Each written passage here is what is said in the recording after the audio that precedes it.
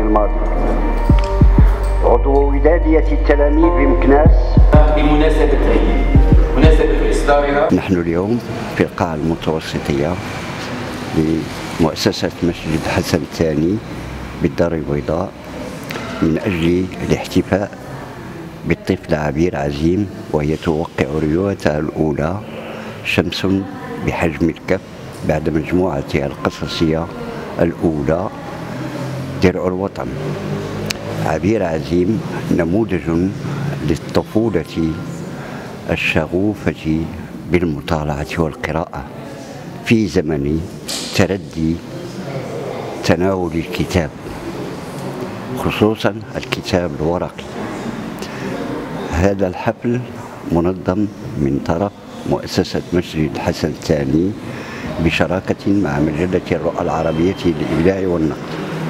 ننتظر حضور مثقفات ومثقفين ومجموعة من الفعاليات الثقافية والاجتماعية من المجتمع المدني لأن الاحتفاء بالبراعم الواعدة واجب وبالموازاة هو أيضا احتفاء بكل ذوي الهمم المعطاء.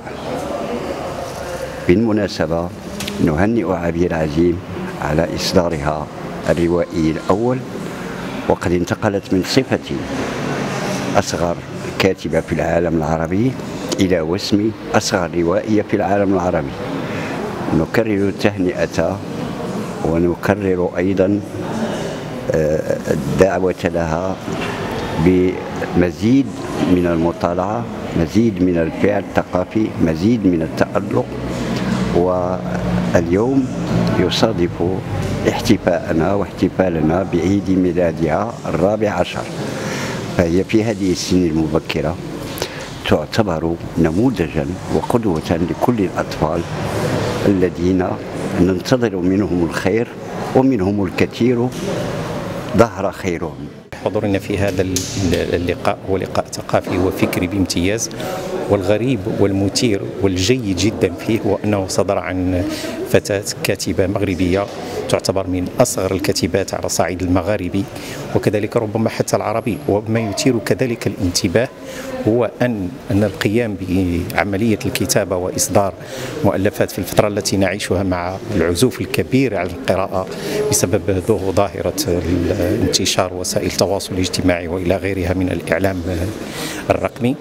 هو في الحقيقة كمن يشق بمحرة في أرض جرفاء ولكن أعتقد أنه بمثل هذه المبادرات يمكن أن نصل إلى الأهداف السامية بإعادة الروح إلى القراءة والكتابة وتقديم النموذج المثالي.